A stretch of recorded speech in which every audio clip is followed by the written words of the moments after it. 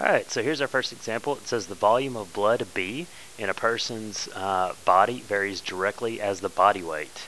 W. The person who weighs 160 pounds is approximately 5 quarts of blood. Estimate the number of quarts of blood in a person who weighs 200 pounds. So the first thing we have to do in a problem like this is we need to write our equation. So let's see if we can't write our equation.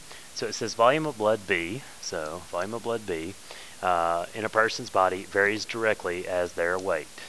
So we'll say W. It's going to be in the numerator because there's direct variation. And then, of course, we have a K because all of our variation problems have a K. So that's our equation. Now what we need to do is we need to figure out what K is and use it to help us predict in the future. So it says to do this, we need to know a situation where we know both B and W. So it says a person that weighs 160 pounds has approximately 5 quarts of blood. So say 5 quarts is equal to K times 160 pounds.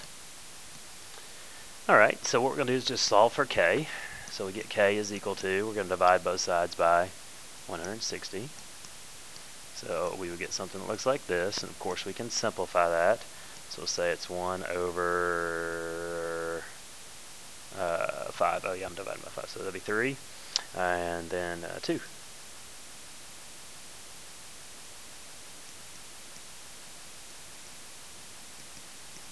So that's our constant. And this isn't the only problem that we have a constant of variation. If you think about some other equations, pi is actually a constant of variation when you're talking about the area of a circle. Uh, in, let's see, another good example. Um, man, I have one right on top of my head, but I can't remember it right now.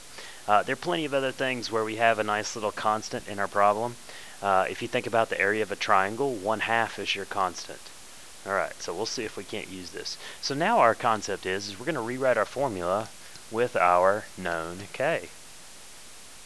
So we get 1 over 32 of b, no, w.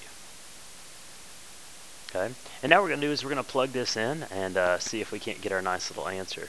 So what we'll do is we'll say b is equal to 132 uh, person that weighs 200 pounds. And this is, of course, quarts per pound. And we're going to multiply it by 200 pounds.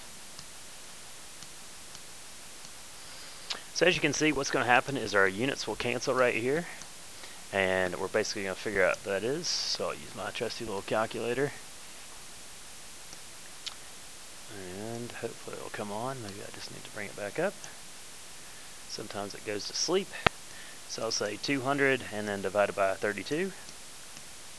So what we get is we get B is equal to 6.25.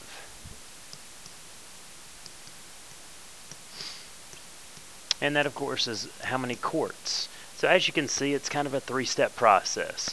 We first we write our equation. Next we plug in the values we know so that we can find out what K is. Then we use K to predict another scenario where we don't know how much that we have of something.